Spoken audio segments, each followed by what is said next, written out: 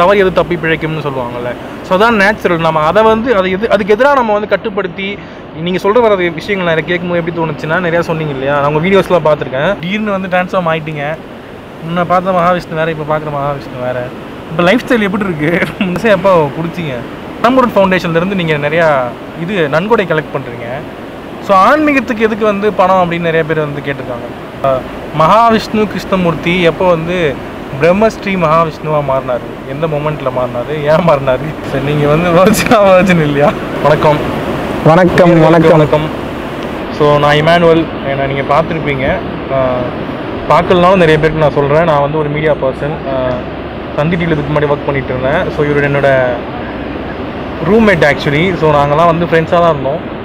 திடீர்னு ஒரு ஞான நிலை அப்படின்னு வந்துருச்சுன்னு சொல்லிட்டு அவர் வந்து நிறைய விஷயங்கள் வந்து இப்போ பண்ண ஆரம்பிச்சாரு. ஞானம்ல வந்துருச்சு நான் சொன்னேன்னா மக்கள் மக்கள் சொல்கிறாங்க ஸோ நிறைய உண்மையாகவே ரொம்ப சந்தோஷமாக இருக்குது இவரை ஃபாலோ பண்ணி நிறைய விஷயங்கள் இவர் பேசுகிற விஷயங்கள் எல்லாமே வந்து நாங்களே ஐ மீன் என்ன சொல்கிறது இந்த வயசில் இவ்வளோ தான் பேசுகிறாரா அப்படின்னு நிறைய பேர் நாங்களாம் பேசியிருக்கோம் ஃப்ரெண்ட்ஸ் எல்லாமே. ஸோ என்னோட சின்னவர் தான். வயசு வந்து இருபத்தி எட்டு தானே ப்ரோ இருபத்தெட்டு. இருபத்தெட்டு. ஸோ என்னை விட சின்ன பையன். பட் ஸ்டில் என்ன அப்படின்னா தாட்ஸ் எல்லாம் பார்த்தீங்க அப்படின்னா வேறு லெவல் தாட்ஸ் அவருக்கு வந்து நீங்கள் அவரோட ஸ்பீச்சஸ்லாம் பார்த்தாவே தெரியும். ஸோ இந்த இந்த லைஃப் லெசன்ஸ் எல்லாமே வந்து ஒன்று ஒன்றா வந்து எப்படி பண்ணணும் மேபி அவர் எக்ஸ்பீரியன்ஸ் பண்ணி கூட நிறையா சொல்கிறாருன்னு நினைக்கிறேன். ஸோ நிறைய நல்ல விஷயங்கள் போதிச்சுட்டு இருக்காரு. ஸோ இப்போ நிறைய விஷயங்கள் நாங்கள் சும்மா நாங்கள் நாங்கள் எப்படின்னா நாங்கள் இந்த பரம்பொருள் ஃபவுண்டேஷனோட இனிஷியல் ஸ்டேஜ்லேருந்து நான் வந்து இதை பார்த்துக்கிட்டு இருக்கேன். ஸோ பரம்பொருள் ஃபவுண்டேஷன் வந்து ஃபஸ்ட்டு வந்து ரொம்ப நார்மலாக ஆரம்பித்து அவர் மட்டும்தான் ஐ மீன் பண்ணிட்டு இருந்தார். ஸோ அவர் ஃபஸ்ட்டு பண்ணும்போது அது யாரும் பெருசாக எடுத்துக்காங்கன்னு எனக்கு தெரியல. அதுக்கப்புறம் வந்து அவர் ஃபாலோவர்ஸ்லாம் வந்து நிறைய பேர் வந்து அவரை நேரில் வந்து சந்தித்து பேச ஆரம்பித்தாங்க ஸோ அப்போது நிறையா இவர் பேசின விஷயங்கள் எல்லாமே வந்து நிறைய பேருக்கு வந்து உண்மையாக ரீச் ஆகி அது நிறைய பேர் வந்தாங்க. அதுக்கு பிறகு வந்து நாங்கள் ஒரு ஆந்திராவில் வந்து ஒரு கிளாஸ் கண்டக்ட் பண்ணார். ஸோ அப்போ வந்து ஒரு இருபத்தஞ்சு பேர் இருப்பாங்கன்னு நினைக்கிறேன். முப்பது பேர் இருபத்தஞ்சு பேர் இருப்பாங்கன்னு நினைக்கிறேன். ஸோ அந்த கிளாஸ் தான் முத முதல்ல நானும் போனேன். இவருக்கும் அதான் முதல் கிளாஸ் எல்லாத்துக்குமே அதான் முதல் கிளாஸு ஸோ அந்த கிளாஸ்லேயே வந்து எப்படி பார்த்தீங்கன்னா அங்கே வந்தவங்க எல்லாமே வந்து போகும்போது வேறு ஒரு மாதிரி அவங்க அவங்க லைஃபே வந்து ட்ரான்ஸ்ஃபார்ம் ஆன ஃபீலில் தான் போனாங்க ஆக்சுவலி நான் ஆக்சுவலி நான் அது வந்து நான் சும்மா போயிருந்தேன் கூட போயிருந்தேன் இவங்களோட போயிருந்தேன் அப்போ பார்த்தது தான் நான். ஸோ அதுக்கு பிறகு தான் நான் வந்து எனக்கு புரிஞ்சுது இவர் வந்து உண்மையாகவே வந்து நிறையா விஷயங்கள் வந்து மக் ஏதோ இவர் ஞானம் அப்படிங்கிற விஷயத்தை ஏதோ பண்ணியிருக்காரு அப்படின்னு எனக்கு தெரியும் நிறைய விஷயம் தெரிஞ்சதுக்கப்புறம். ஸோ இப்போ கூட நான் இவரோட தான் ட்ராவல் பண்ணிக்கிட்டு இருக்கேன். இப்போ அங்கே வந்து ஹிமாலயாஸில் இருக்கோம். ஸோ காஷ்மீர் இப்போ அங்கே காஷ்மீர் வந்திருக்கோம். நான் பெகல்காம் அப்படிங்கிற இடத்துல தான் இருக்கும். பெகல்காம் தான் எனக்கு பேர். அடிக்கடி மறந்துருக்கும் ஸோ பெகல்காம்ங்கிற இடத்துல தான் இருக்கோம். இங்கேருந்து தான் நிறைய விஷயங்கள் இங்கே சீனரி பார்க்கும்பொழுது நிறைய விஷயங்கள் தோணுது. ஐ மீன் ஒரு ட்ராவல்னாவே லைஃப் வந்து ட்ரான்ஸ்ஃபார்ம் ஆகும் இல்லையா? ஸோ அதுதான். ஸோ இப்போ நான் நிறைய விஷயம் நம்ம ரெண்டு பேரும் டிஸ்கஸ் பண்ணலாம் அப்படின்னு தான் நம்ம வந்து உட்காந்துக்கணும்னு நினைக்கிறேன். கண்டிப்பா நிச்சயம். ஸோ ஃபஸ்ட்டு நான் உங்ககிட்ட ஒரு மேட்டர் கேட்கணும். கேட்கிட்டா? கேளுங்க தாராளமா. அப்புறம் அதுக்கு தானே மைக்கு கேமராலாம் வச்சு உட்காந்துருக்கோம் கேளுங்க. சரி இப்போ மனுஷனுக்கு உண்மையாகவே நிம்மதி அப்படிங்கிறது தேவை தான் ஏன்னா பிரச்சனை எல்லாத்துக்கும் இருக்குது ஒரு மிஷின் மிஷின் லைஃப் ஸ்டைல்குள்ளே மாட்டதுக்கு பிறகு நம்ம மக்கள் மனிதனோட தன்மையே மாறி இருக்குன்னு சொல்லலாம். ஸோ அவன் வந்து அவனோட உள் அதாவது எப்படி சொல்கிறது பிஹேவியரெலாம் மனுஷன் நிறையா மாறி இருக்கான். கல்ச்சரல் நிறையா மாறி இருக்கிறான். மைண்ட் செட்டு மாறி இருக்குது ஸோ இந்த மாதிரி விஷயங்கள்லாம் இருக்கும்போது நிம்மதிங்கிறது உண்மையாக தேவை. ஆனால் இந்த நிம்மதி வந்து ஆன்மீகத்தில் மட்டும்தான் கிடைக்கும் அப்படின்னு எப்படி நம்ம வந்து உறுதியாக சொல்ல முடியும்? ஆன்மீகம் மட்டும்தான் ஒரே வழி நிம்மதி கிடைக்கிறதுக்கு. ஆக்சுவலாக நல்ல கேள்வி இது. முதல்ல ஆன்மீகம்னா என்னென்னு தெரிஞ்சுக்கோங்க. ஆன்மீகம்னா நம்ம ஏதோ தனியாக கிளம்பி வந்து ஒரு குடியில் அமைச்சு ஆசிரமம் ஆரம்பித்து தியானம் பண்ணி நிம்மதி நிலைக்கு போகிறத ஆன்மீகம் நினச்சிட்டு இருக்கோம். ஆனால் அது ஆன்மீகம் கிடையாது. அது எப்படி இருக்குது அப்படின்னா இப்போ நீங்கள் கேட்ட கேள்வி ஒரு மீன் வந்து கடலுக்குள்ளே இருந்துக்கிட்டு நான் கடலை தேடி போய்கிட்டு இருக்கேன் அப்படின்னு கேட்குற மாதிரி இருக்குது அப்போ ஆன்மீகம் அப்படின்றதுக்கு உண்டான உண்மையான அடையாளம் உண்மையான பதில் என்னன்னு வந்து கேட்டிங்கன்னா எல்லாமே ஆன்மீகம் தான் எப்படி? எல்லாத்துலேயும் கிரியேஷன் இருக்குது கிரியேஷனில் கிரியேட்டர் இருக்கிறாரு. கிரியேட்டர்னால கிரியேஷன் வந்தது. கிரியேஷன்னால இன்னைக்கு எல்லாமே அழகாக தெரியுது. அவ்வளோதான் ஆன்மீகம். இப்போது அந்த படைப்புக்கு ஒரு சில பேர் ஒவ்வொரு பேர் வச்சுக்கிறாங்க. ஒருத்தங்க அல்லான்னு வச்சுக்கிறாங்க ஒருத்தங்க ஜீசஸ் வச்சுக்கிறாங்க ஒருத்தங்க சித்தர்கள் சித்தர்கள்னு வச்சுக்கிறாங்க ஒருத்தங்க சிவன் பிரம்மா விஷ்ணுன்னு பேர் வச்சுக்கிறாங்க. நான் என்ன சொல்கிறேன் அப்படின்னா நீங்கள் எல்லாரும் உங்கள் விருப்பத்துக்கு தகுந்த மாதிரி இந்த உலகத்தை பார்த்தீங்கல்ல வாழ்ந்துக்கிட்டீங்கல்ல பிடிச்சிருந்தது இல்லை உங்களுக்கு பணம் காசெல்லாம் சேர்ந்தது இல்லை நீங்களும் சந்தோஷமாக தான் இருக்கீங்க. அந்த மாதிரி இந்த உலகத்தை நான் எப்படி பார்க்குறேன்னா என்னோட பார்வையில் எப்பயுமே என் பார்வைன்னு தான் நான் பேசுகிறேன் இதுதான் சரி இந்த உலகத்துக்கு நான் பேச மாட்டேன். ஏன்னா ஒவ்வொரு மகன்கள் சித்தர்களோட கருத்துக்களே நிறையா மாறி இருக்குன்றப்ப நான் ஒரு கரெக்டான கன்க்ளூஷன் கொடுக்க முடியாது. அப்போ என்னன்னா என்னோட பாயிண்ட் ஆஃப் வியூவில் அப்படின்னு பார்க்கும்போது எதுக்கும் எந்த பேரும் இட வேண்டாம். எதுவும் நம்ம அமைதினும் வைக்க வேண்டாம். எதையும் நம்ம நிசப்தம்னு வைக்க வேண்டாம். ஒரு செயல் ஒன்று செய்யும்போது நம்மளோட மனைவிக்கு நம்மளோட மனதிற்கு அது நிம்மதி ஒன்று தருதுன்னு வச்சுக்கோங்க. எக்ஸாம்பிளுக்கு ஒரு பாடல் ஒன்று கேட்குறீங்க நிம்மதி தருதுன்னா அந்த செகண்டில் அதுக்கு பேர் தான் ஆன்மீகம். அதுதான் நிம்மதி. ஒரு நாய்க்கு சாப்பாடு வைக்கிறீங்க. சாப்பாடு வைக்கும் அந்த நாய் நல்லா சாப்பிடுது. உங்கள் முன்னாடி வந்து வாலாட்டிக்கிட்டே நிற்கிது அதுதான் ஆன்மீகம். என்னை பொறுத்த வரைக்கும். இன்னும் ஒருபடி டீப்பாக போய் சொல்லணும்னா உங்களுக்கு பிடித்த பெண்ணோட கலவி செக்ஸில் ஈடுபடுறீங்க. செக்ஸில் ஈடுபடும் போது அந்த பொண்ணும் நீங்களும் உயர்ந்த கட்ட பேன் பேரின்ப நிலை அடைகிறீங்க அதுக்கு பேர் தான் ஆன்மீகம். இந்த மாதிரி ஆன்மீகம் என்பது கல்லில் இருக்குது பூண்டில் இருக்குது புழுவில் இருக்குது செடிகளில் இருக்குது கொடிகளில் இருக்குது பறவைகளில் இருக்குது காடுகளில் இருக்குது மேடுகளில் இருக்குது தூண்லையும் இருக்குது துரும்புலையும் இருக்குது இதை எப்படி ப்ரூவ் பண்ணலாம்னா இதை பல கிளாஸில் நான் கிளியராக சொல்லியிருக்கேன். இருந்தாலும் சிம்பிளாக உங்களுக்கு சொல்லிடுறேன். ஆட்டம்ஸ் தான் எல்லா பொருட்களையோட சேர்க்க. ஆட்டம்ஸோட டீப் போனீங்கன்னா உள்ளே மிஞ்சுறது எனர்ஜி தான் மிஞ்சும் லைட்டு தான் மிஞ்சுது. வள்ளலார் தன்னுடைய ஒளி உட தன்னோட உடலை ஒளி உடலாக மாற்றிக்கொண்டார். அன்னைக்கு இருந்த ஜென்ரல் அன்னைக்கு இருந்த ஆட்சியாளர்கள் பட்டயத்தில் எழுதி கொடுத்துட்டு போயிருக்காங்க. ஸோ என்ன சொல்ல வரேன்னா ஆன்மீக ரீதியாகவும் ப்ரூவ் பண்ணியாச்சு விஞ்ஞான ரீதியாகவும் ப்ரூவ் பண்ணியாச்சு. லைட்டு எனர்ஜி தான் பேஸுன்றது அந்த லைட்டு எனர்ஜின்றது மனிதனுக்கு இந்த இடத்துல இருக்குது அப்போ இது எல்லாத்துக்கும் பேஸ் என்னென்னா ஓடிக்கிட்டே இருந்தீங்கன்னா நிம்மதி கிடைக்காதுங்க. அவ்வளோதாங்க டயர்டுங்க உட்காந்துட்டிங்கன்னா நிம்மதிங்க. அவ்வளோதாங்க விஷயம். அந்த உட்கார்ற நேரம் சாப்பிட்ற இடமா இருந்தாலும் சரி பாத்ரூமில் இருந்தாலும் சரி தூங்குற இடமா இருந்தாலும் சரி கேமரா எடுக்கிறதா இருந்தாலும் சரி ஒருத்தன் வேகமாக ஓடிக்கிட்டே இருப்பான். ஹுசைன் போல்ட் மாதிரி. ஆனால் அதுதான் அவனுக்கு நிம்மதியை தரும். நம்மளை பொறுத்த வரைக்கும் அவன் ஓடுறான் வேலை செய்கிறாமோ உடல் ஓடிக்கிட்டு இருந்தாலும் மனம் தெளிவு நிலையில் அமைதியாக இருக்கும். பிரம்ம நிலையில் இருக்கும். அப்படி இருக்கிறவன்லாம் இருக்கும் அதனால தான் அவன் உசைன் போல்ட்டாக இருக்கான். புரியுதா உங்களுக்கு? இந்த மாதிரி நிம்மதி அப்படின்றது மனிதன் நினைக்கக்கூடிய டெஃபினிஷனில் நிம்மதியை போய் அடக்க முடியாது. அது வேற ஒரு டெஃபினிஷனில் இருக்குது நான் பார்த்த வரைக்கும் ஓரளவு தான் டெஃபினிஷன் பார்த்துருக்கேன். இன்னும் போக போக அது வேற ஏதாவது டெஃபினிஷன் கொடுக்கலாம் மேபி எண்டில் மனிதன் வந்து தெளிவற்ற தெளிவற்ற மைண்ட் செட்டில் தான் எப்பவுமே இருக்கான் அப்படின்னு சொல்றீங்க இல்லையா? ஸோ தெளிவற்ற மைண்ட் செட்னா என்ன கேட்குறேன்னா அதாவது அது இயல்பு தானே அது? அதாவது ஒரு ஒரு மனுஷங்கிறவன் அவனா தட்டி தடுமாறி கற்றுக்கணும் ஸோ பிரச்சனை வந்து அதை ஃபேஸ் பண்ணணும். அதெல்லாம் ஹேண்டில் பண்ணணும். ஒரு சர்வைவல் ஆஃப் த ஃபிட்டஸ்ட்னு சொல்லுவாங்க இல்லையா? இங்கே தவறு எது தப்பி பிழைக்கும்னு சொல்லுவாங்கல்ல. ஸோ அதான் நேச்சுரல் நம்ம அதை வந்து அதை எது அதுக்கு எதிராக நம்ம வந்து கட்டுப்படுத்தி நீங்கள் சொல்கிற வர விஷயங்கள் நான் கேட்கும்போது எப்படி தோணுச்சுன்னா நிறையா சொன்னீங்க இல்லையா? நான் உங்கள் வீடியோஸ்லாம் பார்த்துருக்கேன். அது அதில் சில விஷயங்கள் சொல்லியிருக்கீங்க. என்ன அப்படின்னா கோவம் வந்தால் கட்டுப்படுத்தணும் அப்படின்னு சொல்லியிருக்கீங்க இல்லையா? ஸோ கோவம் வந்தால் கட்டுப்படுத்தணும்னு சொல்ல கோவத்தை கவனிக்கணும்னு சொல்லியிருக்கேன் அது சம்திங் ஸோ இந்த உணர்வு ரீதியாக இல்ல அந்த சம்திங் தான் மிகப்பெரிய விஷயம். என்ன தவறா எடுத்துக்காதீங்க. உங்களை லாக் பண்றேன்னு நினைக்காதீங்க.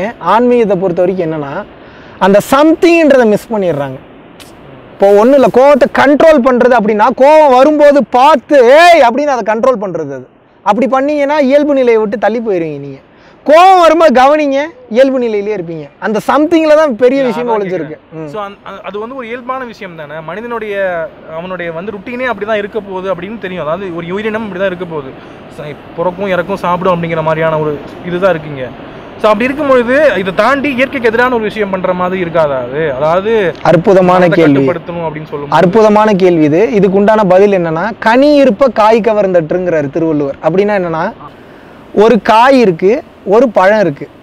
காய் புளிக்கும் டேஸ்ட் நல்லா இருக்காதுன்னு உங்களுக்கு தெரிஞ்சு போச்சு. ரிசல்ட் தெரிஞ்சு போச்சு. கன்ஃபார்ம் நூறு சதவீதம். அதில் மாற்று கருத்தே இல்லை. பழம் டேஸ்ட்டாக இருக்கும் இனிப்பாக இருக்கும். இப்போ எனக்கு தேவை இனிப்பு தான்றது தெரிஞ்சு போச்சு. இப்போ நான் என்ன எடுக்கணும்? காய் எடுக்கணுமா பழம் எடுக்கணுமா? பழத்தை தானே எடுக்கணும். அதுபோல் மனிதனுடைய பிறப்பு இந்த உலகம் சார்ந்த எதை நோக்கி போனாலும் கண்டிப்பாக அந்த அட்டாச்மெண்ட்டில் போய் சிக்கிடுவான் பற்றற்ற நிலைக்கு போக முடியாது. இதுதான் பற்றுக பற்றற்றான் பற்றினை அப்பற்றை பற்றுக பற்று விடற்குன்னு திருவள்ளுவர் சொல்கிறார் பற்றற்றான் பற்றினை தான் பற்ற சொல்கிறார் இறைவனை தான் பிடிக்க சொல்கிறார் மனைவியவோ குழந்தைகளவோ கணவனையோ இல்லை பொன் பொருள் வீடு வாசல் செல்வம் வசதி எது சேர்த்து நீங்கள் போனீங்கனாலும் அந்த பற்று உங்களை அழிச்சிரும்னு வந்து அவர் சொல்கிறார் அப்போது இந்த வகையில் பார்க்கும்போது உங்களுக்கு பெட்டர் ஆப்ஷன் ரெண்டுமே இருக்குப்பா. உங்களுக்கு இந்த உலகம் தான் வேணும்னா இங்கேயும் வாழ்ந்துக்கலாம். அருள் இல்லாருக்கு அவ்வுலகம் இல்லை பொருள் இல்லாருக்கு இவ்வுலகம் இல்லாகியாங்கிறாரு அருளாருக்கு அவ்வுலகம் இல்லைன்னு தெரிஞ்சு போச்சு. அருள் இருந்தால் அங்கே போகிறேன் ஜம்ப் பண்ணி போகிறேன் எல்லாருமே இங்கே பாருங்க ப்ரோ சின்ன வயசுலேருந்து வளர்ந்து பிஹெச்டி வரைக்கும் வந்துடுறாங்க. இப்போ பிஹெச்டியில் தான் எண்டுன்னு நினச்சி நின்றுக்கிறாங்க பல பேர் பிஹெச்டி தான் எண்டுன்னு நினச்சி நின்றுக்கிறாங்க இங்கேருந்து ஒரு ஜம்ப் பண்ணிட்டாங்கன்னு வைங்க. சிற்றம்பல கல்விங்கிறார் வள்ளலார் இது. எதுக்கு சிற்றம்பல கல்வி ஒருத்தன் வரணும் அப்படின்னா எல்லாரும் தொண்ணூத்தொம்பது சதவீத மக்கள் இதோட வாழ்க்கையை முடிச்சு செத்துறாங்க அடுத்த பிறவியில் வராங்க. இங்கேருந்து ஒரு ஜம்ப் என்ன இருக்குன்னு பார்த்துட்டான்னு வைங்களேன். சாகா கல்விங்கிறார். அமுத விஞ்ஞானம்ன்றார். கடவுள் விஞ்ஞானம்ங்கிறார். உச்சிக்கு கீழடியோ அண்ணாவிற்கு மேலே வைத்த விளக்கு நித்தமும் எரியுதடி வாழைப்பெண்ணின் வள்ளலார் சொல்கிறார் இல்லையா? அந்த திருச்சிற்றம்பல கல்வி. எந்த ஒன்றை பற்றி படிச்சுட்டா எல்லாத்த பற்றி படிச்சிடலாமோ? எல்லாத்த பற்றியே தெளிவு வந்துருமோ? அந்த ஒன்றை தானே படிக்கணும். என் கேள்வி அதுதான். போ நான் இசை ஞானியும் ஆகலாம். இளையராஜா மாதிரி. இசையிலேயே இருந்தேன்னா இசை ஞானம் வந்துடும் டான்ஸே ஆடிட்டு இருந்தேன்னா நான் வந்து பார்த்தீங்கன்னா ஒரு மிக சிறந்த ஒரு டான்ஸர் ஆயிடுவேன் நான். நான் வந்து டபிள்யூ டபிள்யூ ஃபைட்டே பார்த்துட்டு இருந்தால் டபிள்யூ டபிள்யூ ஃபைட்டர் ஆயிரும். எதை வேணாலும் என்னால் கற்றுக்க முடியும் இல்லைங்க என்னால் எதை வேணாலும் கற்றுக்க முடியும். முடியாதுன்னு கிடையாது. ஆனால் எது ஒன்றை கற்றுவிட்டால் நான் இந்த உலகத்திலேயே உயர்ந்த இடத்துக்கு போயிடுவேன்னா அந்த ஒன்று தான் எனக்கு பெருசாக தெரியும். அப்போ நான் என்ன சொல்கிறேன்னா இந்த உலகத்தை திருத்த வரல நான். ஏன் வேவுலேருந்து என் மென்டாலிட்டியில் தயார் நிலையில் இருக்கிறவனை மட்டும் தட்டி தூக்குறக்காக நான் வந்திருக்கேன். அப்போ என்னென்னா தயார் நிலையில் இருக்கக்கூடிய அந்த விக்கெட்ஸ் தான் விழுகுமே தவிர நானே கஷ்டப்பட்டாலும் மிகப்பெரிய பிளேயர்ஸ் உலகத்தில் இருக்கக்கூடிய விஜய் மல்லையா மாதிரியான ஆட்கள் இல்லை வந்து பார்த்தீங்கன்னா உயர்நிலை கோடீஸ்வரங்களை நான் தட்டி தூக்க முடியாது. அதுக்கு அவன் அருளாலே அவன் தாள் வணங்கிங்கிறார் மாணிக்க வாசகர். அவனை கும்புறதுக்கே அவன் அருள் வேணுங்கிறப்ப தயார் நிலையில் இருக்கிறவனை தான் நானே தட்டி தூக்க முடியும். எல்லாரையும் தூக்க முடியாது. இப்போது புத்தர்கிட்ட இருந்த எல்லாருமே ஞானம் அடையலை. ஓஷோ கிட்ட இருந்த எல்லாருமே ஞானம் அடையலை. ரமண மகரிஷி கிட்ட இருந்த எல்லாருமே ஞானம் அடையலை. இப்போது நம்ம ஒரு- கிட்டத்தட்ட ஒரு ஒரு ஒரு வாரமாக நம்ம ஒன்றா சுற்றிட்டு இருக்கிறோம். நம்ம வீடியோஸ் பண்ணுறோம் போகிறோம் வரோம். ஆனால் உங்கள் ஸ்டேஜில் தான் நீங்கள் இருக்கீங்க. என் ஸ்டேஜில் தான் நான் இருக்கேன். எந்த ஒரு கலப்பும் க கலக்கல. நான் எவ்வளோ பெரிய ஞான புரிதலை சொல்லி வ- பட்டினத்தார் வந்து ஒரே வரியில் தான் ஞானம் அடைஞ்சார். காதற்ற ஊசியும் வாராது காணி கடை கடை வலிக்கேன்னு படிச்சோன்னே ஞானம் அடைஞ்சிட்டாரு. ஆனால் அதோட மிக சிறந்த வார்த்தைகள் மிக சிறந்த தத்துவ விளக்கங்கள்லாம் பல வீடியோவில் பேசி இன்னும் நீங்கள் தெளிவடையலை. அப்போ இதுக்கு உண்டான காரணம் என்ன? நீங்கள் முட்டாளும் கிடையாது. நான் கடவுளும் கிடையாது. கொடுத்து கொடுத்து நடக்காமல் இருக்கிறதுனால நான் கடவுள் இல்லைன்னு கிடையாது. உங்களுக்கு புரியலன்றக்கா நீங்கள் ஞானம் அடையாதவனும் கிடையாது. ஆனால் மேட்ரு என்னன்னு வந்து கேட்டிங்கன்னா அது நிகழும். அது அப்போ நிகழும். அது அப்படி நிகழும். அது எப்படி நிகழும்? யாருக்கு நிகழும்? எப்போ நிகழும்னு தெரியாது. அது நம்மளை வச்சு நம்மளை ஒரு காயினாக பயன்படுத்தி இது விக்கெட் இது தூக்கு அது தூக்குன்னு நிகழும். அப்போ என்னென்னா மகாவிஷ்ணுக்கு இந்த பாதை பிடிச்சிருக்கு. வலிக்கல குத்தல கொடையில எனக்கு வேணுங்கிற தேவைகள் உடல் அளவுலையும் மன அளவுலையும் பொருள் அளவுலையும் இறைவன் எனக்கு கொடுத்துட்ருக்கான் இந்த பாதை நல்லா இருக்குடான்னு நான் ஒரு நாலு பேர்கிட்ட சொல்கிறேன்ப்பா யூடியூப்பில் ஆஹா இந்த பாதை நல்லா இருக்கே.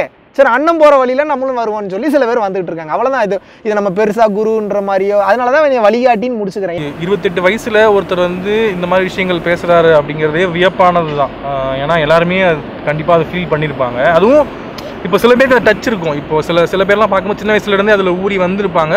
அந்த அதனால அவங்க இந்த வயசுல இப்படி ஆனாங்க அப்படின்னு சொல்லலாம். ஆனால் உங்க டிரான்ஸ்ஃபர்மேஷன் அப்படி கிடையாது. நீங்க இதுக்கு முன்னாடி வந்து ஒரு சினிமா அப்படி நம்ம அறிமுகமானதே அப்படிதான். நம்ம வந்து சினிமா சினிமாவில் தான் அறிமுகமானோம். ஸோ அது டிரான்ஸ்ஃபர்மேஷன் கிடைச்சிருக்கு. இப்போ எப்படின்னா நீங்கள் ஒரு மாடர்ன் மாடர்னான ஒரு பல விஷயங்களை சொல்கிற ஒரு மாடர்னான ஆள் அப்படின்னு நான் வச்சுக்கிறேன். ஆல்ரெடி இருக்க நல்ல விஷயங்களை சொல்கிற மாடர்னான ஆள். உங்கள் சயின்டிஃபிக் அப்ரோச் என்ன? இது இது வந்து இப்போ மெய் ஞானம் தியானம் அப்படிங்கிறதெல்லாம் தாண்டி சயின்டிஃபிக்காக இப்போ எப்படின்னா ஆக்சுவலி பழைய விஷயங்கள் தான் நம்ம புதுசு புதுசாக கன்சீவ் பண்ணிக்கிறோம். இப்போ இந்த இதே விஷயத்த ஒரு சின்ன குழந்தை கன்சீவ் பண்ணால் வேறு மாதிரி கன்சீவ் பண்ணும். நம்மளே கொஞ்சம் தெளிவடைந்து கன் கன்சீவ் பண்ணால் வேறு மாதிரி கன்சீவ் பண்ணுவோம் இல்லையா? ஒரே விஷயத்த இல்லை ஒரே பாட்டு அந்த பாட்டு அர்த்தம் சின்ன வயசில் முடியாது இப்போ புரியும். அந்த மாதிரி வச்சுக்கோங்களேன். அப்படி இருக்கும்போது உங்களோட மாடர்ன் அப்ரோச் என்ன? நீங்கள் இந்த விஷயத்தை எப்படி புரிஞ்சுக்கிட்டு நீங்கள் இதை மாடர்னாக எப்படி இதுக்கு இதுக்கு நீங்கள் எப்படி இது மாடர்ன் அப்ளிகேஷன் பண்ணுறீங்க இதை? இதை நான் வந்து ரொம்ப சிம்பிளாக சொல்கிறேன் நல்ல கேள்வி. இதுவும் ஒரு சூப்பரான கேள்வி. எப்படி இக்கால சமுதாயத்துக்கு அந்த மாதிரி எப்படி கொண்டு போறீங்கன்னு கேட்குறீங்க கரெக்டாக நீங்கள் கேள்வி. என்னோட கிளாஸ்லாம் நீங்கள் முன்ன பின்ன பார்த்துருந்தீங்கன்னா தெரிஞ்சிருக்கும். டக்குன்னு ஒரு பாடல் ஒன்று பாடுவேன். என்னப்பா என் கையை தட்ட உண்டாச்சு உலகம். ஏய் நான் சொன்ன பக்கம் நிற்காம சொல்லலும் டேய் என் கூட சேர்ந்து கூத்தாடும் நிழலும். உள்ளார எப்போதும் உள்ளால. இந்த பாட்டு ஒரு விளக்கம் கொடுத்தேன். எல் எப்பயுமே சித்தர்கள் பாட்டே எடுக்கணுன்ற இல்லையா? இக்கால கவிஞர்களுக்கு ஞானம் வரலையா? வைரமுத்துலாம் மிகப்பெரிய ஞானம் தான் எழுத்து ஞானம் அவர்கள்லாம். தாண்ட அகங்காரம் நீ நீங்கிருச்சுன்னா அவன் சித்தன் அவ்வளோதான் மற்றபடி ஞான நிலை எல்லாத்துக்கும் ஒன்று தான் அது பிரம்ம ஞானமாக மாறிடுச்சுன்னா வித்திய வித்தியாசம் மாறிடும். அந்த வகையில் எல்லாத்துலேயும் ஞானம் இருக்குன்றத நான் சொல்கிறேன் எப்படி? இப்போது ஒரு எக்ஸாம்பிளுக்கு வந்து பார்த்தீங்கன்னா ஒரு பட்டாம்பூச்சி பறக்குது. அது பறக்கறதுக்கு பின்னாடி ஒரு நூறு ஞானம் இருக்குது எப்படி? காற்று எங்கேருந்து வருது? காற்றோட பேஸ் மெட்டீரியல் என்ன? பட்டாம்பூச்சி பறக்குதுன்னா அப்போ நமக்கு ரெக்கை இருந்தால் ஏன் பறக்க முடியல? அப்போ பட்டாம்பூச்சியை பறக்க வைக்கிறதுக்கு உண்டான பேஸ் மெட்டீரியல் என்ன? அப்போ பட்டாம்பூச்சிக்கு இல்லாதது நமக்கு என்ன இருக்குது இல்லை நமக்கு இல்லாத அதுக்கு என்ன இருக்குது ஸோ இந்த மாதிரியான விளக்கங்கள் தான் எல்லாத்துலேயும் பார்க்கும்போது என்ன பார்? என் கையை தட்ட உண்டாச்சு உலகம். டே பாடுறா நான் தூங்கி மு- தூங்கிட்டு இருக்கும்போது உலகம் இல்லை எனக்குள்ளே தூங்கிடுச்சு முழிச்சு எந்திரிச்சோன்னே கையை தட்ட பாரு அப்போ தான் இந்த உலகமே என் கண்ணு முன்னாடி தெரியுது. உண்டாச்சு உலகம். நான் நான் சொன்ன பக்கம் நிற்காம சொல்லணும். எப்படி? நீங்கள் போதையில் இருந்தீங்கன்னா போதையில் சொல்கிற மாதிரி நினச்சிக்க வேண்டியதான் இந்த உலகம் எப்படி சுற்றுதோ இல்லையா அது வேலையை அதை கரெக்டாக பண்ணிகிட்டு இருக்கு. நிற்காம சொல்லலாம் என் கூட சேர்ந்து கூத்தாடு நிழலும் உள்ளார எப்போதும் உள்ளால உள்ளாலன்னா ஆனந்த பரவச நிலை தான் அப்போ என்னன்னா நீங்கள் எப்படி எடுத்துக்கிறீங்கன்றது தான் பிரதர் இருக்குது புத்தர் அதை சொல்லுவார். இப்போ ஏற்பட்ட அழகான ரோஜா செடியில் இப்படி போய் முள்ளு இருக்கேன்னு பார்த்தீங்கன்னா முட்டாள்தனம். இப்படிப்பட்ட முள்ளு இருக்கக்கூடிய செடியில் கூட அழகான ரோஜாவை இறைவன் படைச்சிருக்கானே ஞான நிலை அவ்வளோதான் அப்போ அந்த வகையில் பார்க்கும்போது இந்த மாடர்ன் வேர்ல்டுக்கு பாடல்கள் மூலிமா கொண்டு போகலாம். பிக் பாஸ் மூலியமாக கொண்டு போகலாம். இந்த ஆன்மீக உலகத்தில் வந்து நீங்கள் புதுசு கிடையாது. உங்களுக்கு முன்னாடி நிறைய பேர் இருக்காங்கன்னு வச்சுக்கோங்களேன். இப்போ நம்ம டக்குன்னு பார்த்தோம்னா இப்போ நித்யானந்தா இருக்காரு சத்குரு இருக்காரு இப்போ சிவசங்கர் பாபா கூட ரீசெண்டாக ஒரு ஒரு இதில் மாட்டினார் பிரச்சனையில் மாட்டினார். இந்த மாதிரி ஆன்மீக குருக்கள் நிறைய பேர் இருந்திருக்காங்க. ஸோ இவங்களெல்லாம் தாண்டி மகாவிஷ்ணு பிரம்மஸ்ரீ மகாவிஷ்ணுங்கிறவர் எப்படி எவ்வளோ மாடர்னாக இந்த விஷயத்தை அணுகுறாரு? அதாவது முதல்ல நீங்கள் சொன்னீங்க நித்யானந்தா ஒரு சில பெரிய ஐகான்ஸ்லாம் சொன்னீங்க. முதல்ல அவங்கள என்னோட நான் கம்பேரே பண்ணிக்கல. ஏன்னா அவங்க ரொம்ப உயர்ந்த நிலையில் இருக்காங்க. நான் ஒன்று ஸோ நான் ஒரு சாதாரண ஆள் தான். ஸோ நான் முதல்ல என்னோட தாட்ஸில் வெரி ஃப்ராங்க்லி சேயிங் இவங்கள மைண்டில் வச்சுருக்கேன். இவங்களுக்கு ஈக்குவலாக பண்ணணும். இவங்களோட அதிகமாக பண்ணணும் அப்படின்றதெல்லாம் கிடையாது. ஏதோ எனக்கு ஒரு சில புரிதல்கள் வந்திருக்கு. அந்த புரிதல்களை மக்களுக்கு சொல்லணும்னு சொல்கிறேன் அது ஒரு சில பேருக்கு பிடிச்சிருக்கு. அக்செப்ட் பண்ணிட்டு வாழ்கிறாங்க என் குருநாதர் அவரோட குருநாதராக ஏற்றிருக்காங்க என்ன ஃபோட்டோ என் ஃபோட்டோ வீட்டில் வைக்கணுமான்னு கேட்டாங்க. அதெல்லாம் எதுவுமே வேண்டான்ட்டேன். என்னோட குருநாதரை கும்பிட்டிங்கனாவே அதுக்கு மிகவும் போதுமானது. ஸோ அந்த வகையில் பார்க்கும்போது இப்போ மற்ற ஆளுங்க எப்படி அணுகுறாங்க? அது நமக்கு வேண்டாம். அதுக்குள்ளே நான் போகவும் விரும்பலை. ரொம்ப டீட்டெயில்டாக போக விரும்பல. ஒரு சில பேர் உண்மைகளை சொல்லி கொடுத்தாங்க. அதுதான், ஒரு சில- தாண்டி நீங்க எப்படி வித்தியாசமா அணுகுறீங்கன்னு கேட்குறேன் அதுதான். அவங்க அவங்க அவங்க மற்ற விஷயங்களை எப்படி பார்த்தாங்கன்றது எனக்கு தெரியல. இன்ஃபேக்ட் பல பேரோட பர்சனல் லைஃப்குள்ளே நான் போகல ஆனால் என்னை பொறுத்த வரைக்கும் இதை எப்படி கொண்டு போகணும்னா வழக்கமாக இருக்கிற மாதிரி இந்த கோயில்களில் தான் சாமி இருக்குது மாஸ்கில் தான் சாமி இருக்குது சர்ச்சில் தான் சாமி இருக்குது அப்படின்றது இருக்கக்கூடாது. விஞ்ஞான ரீதியான சில விளக்கங்களையும் கொடுக்கணும். எப்படி அப்படின்னா இப்போது ஒரு எக்ஸாம்பிளுக்கு சொன்னால் ஒருத்தன் நம்ம நினச்சிக்கிட்டே இருக்கோம். ஒருத்தன் நினச்சிக்கிட்டே இருக்கானா அவன் ஃபோன் பண்ணானா அது கேட்கும்போது மேஜிக்காக தெரியும் உங்களுக்கு. இதுவே சயின்டிஃபிக்காக ப்ரூவ் பண்ணனா ஒரு இப்படியே நீங்கள் ஒரு முந்நூறு வருஷத்துக்கு முன்னாடி போங்க. டே நீ அமெரிக்காவில் இரு. நான் சென்னையில் இருக்கேன். நீ அங்கேருந்து ஹே! அப்படின்னா இங்கே உனக்கு கேட்குண்டா அப்படின்னா போடா லூசு பையன் தான் சொல்லியிருப்பாங்க. ஆனால் இன்றைக்கி அதுக்கு பேர் தான் செல்ஃபோன் உங்கள்கிட்ட ஒரு டப்பா இருக்குது என்கிட்ட ஒரு டப்பா இருக்குது அங்கே பேசினா இங்கே எப்படி கேட்குது அப்போ அதிர்வலைகள் தான்.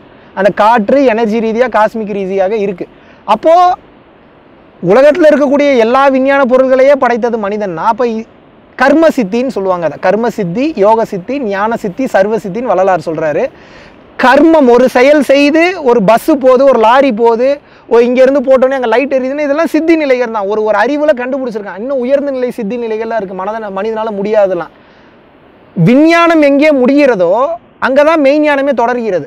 இதுக்கப்புறம் எனக்கு தெரியல கண்டுபிடிக்க முடியல.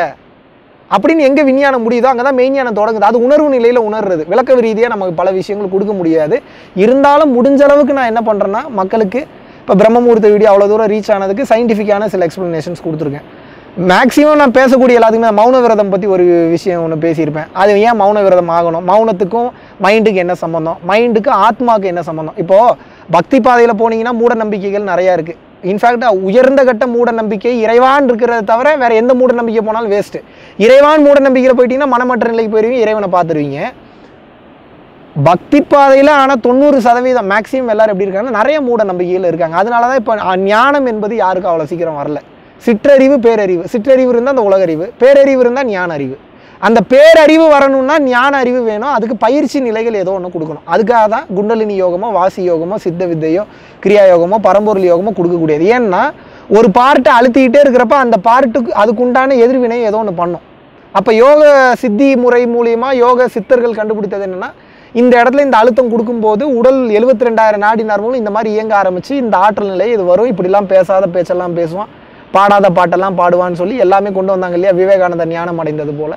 அந்த மாதிரி இருக்கக்கூடிய பயிற்சி this is called yogic science இதுக்கு சித்தா டாக்டர்ஸ் இருக்காங்க.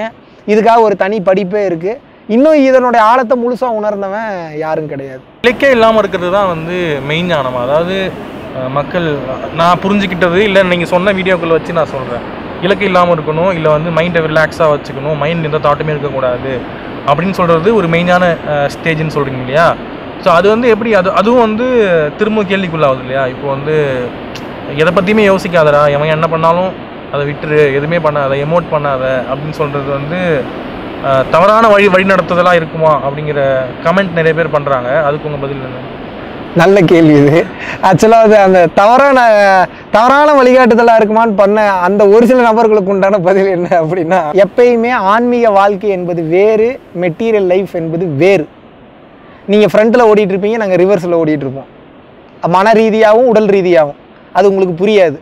அதுக்காக உங்களுக்கு எதுவுமே புரியவே புரியாதுன்னு சொல்ல வரல. புரிஞ்சுக்கணும்னு நினச்சா புரிஞ்சுக்க முடியும். ஆனால் இந்த உலக வாழ்க்கை எனக்கு தேவை உண்மை நினச்சி வாழ்ந்துட்டுருக்கீங்க இருக்கீங்க. நீங்கள் அதில் இருக்கீங்க நாங்கள் இதில் இருக்கோம். நான் என்ன சொல்கிறேன்னா யோகானந்த பரமஹம்சர் லைவாக சொல்லிவிட்டு அட்டைன் சமாதி அட்டைன் பண்ணார். Conscious exit from the body கிரியா யோகத்தை மிகப்பெரிய லெவலில் வளர்த்தவர் மாபெரும் சித்தர் மாபெரும் யோகி. அவர் என்ன சொல்கிறாருன்னா don't expect or don't worry about your future or the past just live in the present. Your future will be take care அப்படிங்கிறார். அப்படி அப்போ என்ன அர்த்தம்னா ஒரு குறிப்பிட்ட புரிதல் உங்களுக்கு வராத வரைக்கும் இந்த உலகத்தில் நம்ம பண்ணுறதுனால தான் எல்லாம் நடந்துகிட்டு இருக்கு அப்படின்னு நினச்சிட்டு இருப்பீங்க. ஒரு குறிப்பிட்ட ஞான புரிதல் இந்த உலகத்தோட மேலே இருந்து உங்களுக்கு சிக்னல் வரும்போது தான் உங்களுக்கு என்ன புரியும் என்ன தெரியும் என்ன கிடைக்கும் அப்படின்னா அங்கேருந்து ஒரு சிக்னல் ஒன்று வரும். அந்த சிக்னலுக்கு தகுந்த வேலையை தான் நீங்கள் செய்வீங்களே தவிர புதுசாக ஒரு வேலையை செய்கிறதுக்கு வாய்ப்பே கிடையாது. அப்படி இருக்கிறப்போ நீ வந்து இலக்கே இல்லாமல் இருந்து நான் யாரையும் சொல்லலை. நூறு இலக்குகளை வச்சுக்காத. ஒரு இலக்கை வச்சுக்க. அந்த ஒரு இலக்கை எப்படி சூஸ் பண்ணும் உனக்கு என்ன நல்லா வருமோ உனக்கு எதில் நீ ரொம்ப ஸ்ட்ராங் பேஸோ நல்லா பாட வரும்னா பாடல் சம்மந்தமாக நல்லா எழுத வரும்னா எழுத்து சம்மந்தமாக நல்லா மார்க்கெட்டிங் வரும்னா பேச்சு சம்மந்தமாக இந்த மாதிரி உன்னோடைய ஸ்ட்ராங் பேஸ் எதுன்னு பார்த்தா அதை இலக்க வச்சு அதில் போனோன்னா பண பிரச்சனைகளும் முடிஞ்சிடும் பொருளாதார பிரச்சனைகளும் முடிஞ்சிடும் குடும்பத்தோட ரெஸ்பான்சிபிலிட்டிஸும் முடிஞ்சிடும் இதெல்லாம் ஆல்மோஸ்ட் முடியும் போதே ஒரு திருப்தி நிலைக்கு வந்துடுவான் ஃபாரின் போயிடுவான் வேணுங்கிறத என்ஜாய் பண்ணிடுவான் செக்ஸ் வச்சுப்பான். இந்த திருப்தி வரும்போது தான் இறைவனை முழுசாக ஒருத்தன் பார்க்க முடியும். உடல் கர்மா ஆத்ம கர்மா தீராமல் ஒருத்தனால முக்தி நிலையை நிச்சயமாக அடைய முடியாது. அப்போ என்னன்னா உனக்கு கண்டிப்பாக பணம் வேணும். செல்வ வளம் வேணும்னு தான் நானும் சொல்கிறேன் ஆனால் அந்த செல்வ வளம் எப்படி இருக்குன்னா கர்ம துட்டாக இருக்கக்கூடாது தேவையற்ற வழிகளில் வந்திருக்கக்கூடாது. ஞான நிலையில் தொழில்நுட்பம் வளர்ந்து அறிவு நிலையில் வந்த பணமாக இருக்கணும் தான் என்னுடைய கருத்து. அந்த வகையில் வரக்கூடிய விஷயத்த இப்போ நீங்கள் வந்து மெட்டீரியல் லைஃப் வாழ்ந்துட்டுருக்கீங்க. மெட்டீரியல் லைஃப்பில் வாழ்ந்துட்டு இருக்கும்போதே உங்களுக்கு ஆன்மீக வாழ்க்கைக்கு உண்டான பயிற்சியை நான் கொடுத்துட்டேன். ரெண்டுமே பண்ணிகிட்டு இருக்கும்போது கான்ட்ரடிக்ஷன் வரும் ஒரு கட்டத்துக்கு மேலே. அப்போ அந்த பக்குவ நிலையை நான் சொல்லி கொடுத்தா வராது. உங்களுக்கே வரும் எப்படி பேலன்ஸ் பண்ணுன்ற அது இன்ஃபேக்ட் அது கொஞ்சம் கொஞ்சம் இல்லை கொஞ்சம் ரொம்பவே கஷ்டமான ஒரு விஷயம் தான். அதுக்கு பக்குவ நிலை இல்லாமல் ரெண்டையும் பேலன்ஸ் பண்ண முடியாது.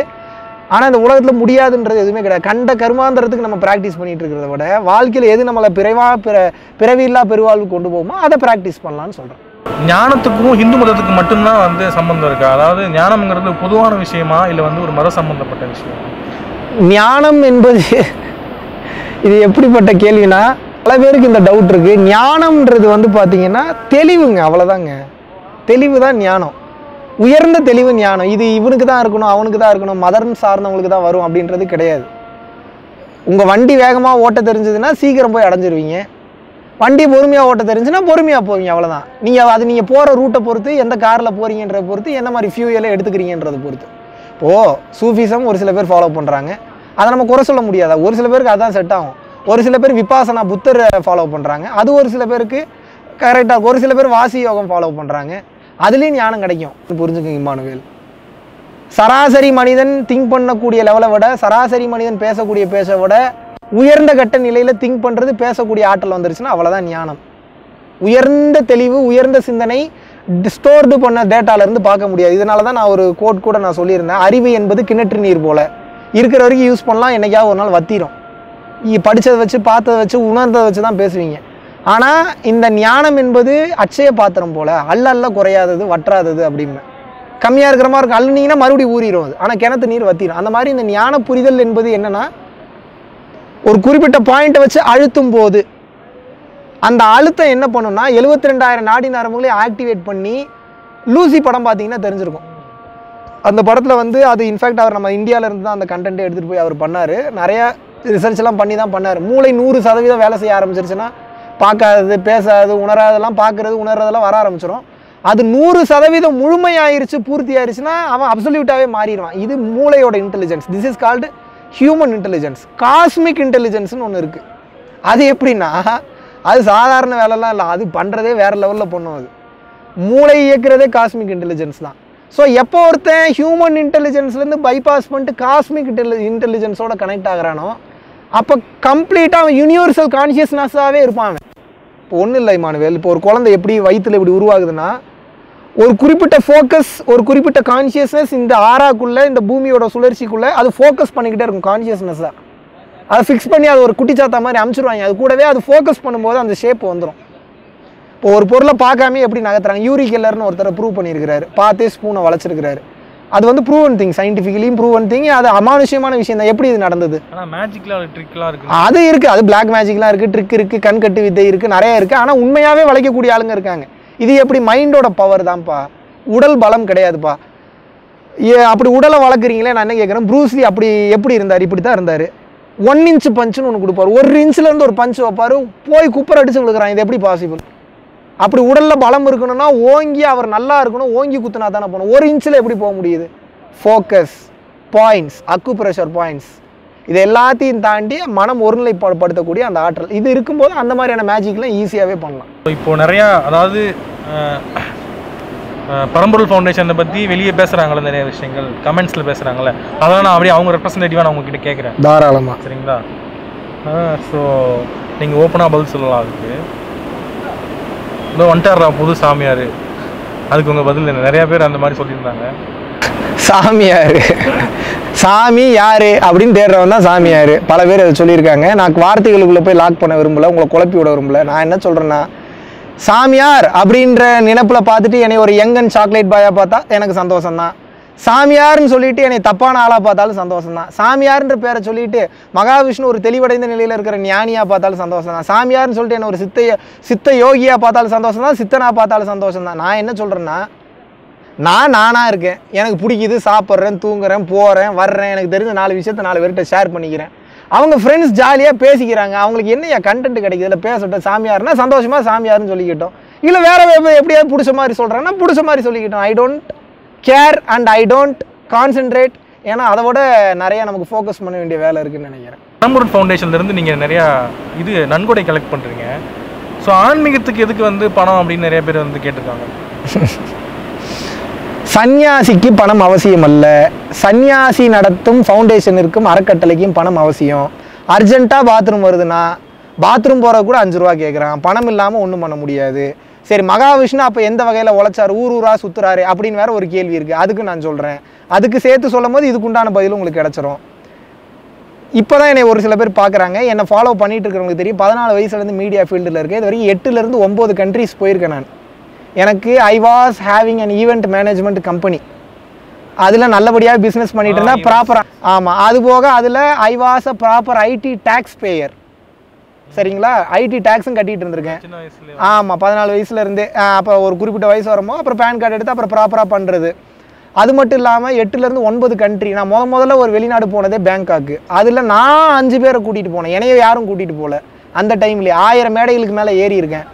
அது மட்டும் இல்லாமல் நிறைய பிஸ்னஸ் பண்ணியிருக்கேன். I have a garment manufacturing பிஸ்னஸில் இருந்தேன். அது போக வந்து பார்த்தீங்கன்னா இம்போர்ட் அண்ட் எக்ஸ்போர்ட்டில் இருந்தேன். அது போக ஆன்லைன் எஸ்இஓ மார்க்கெட்டிங்கில் இருந்தேன். அது போக வேற என்ன?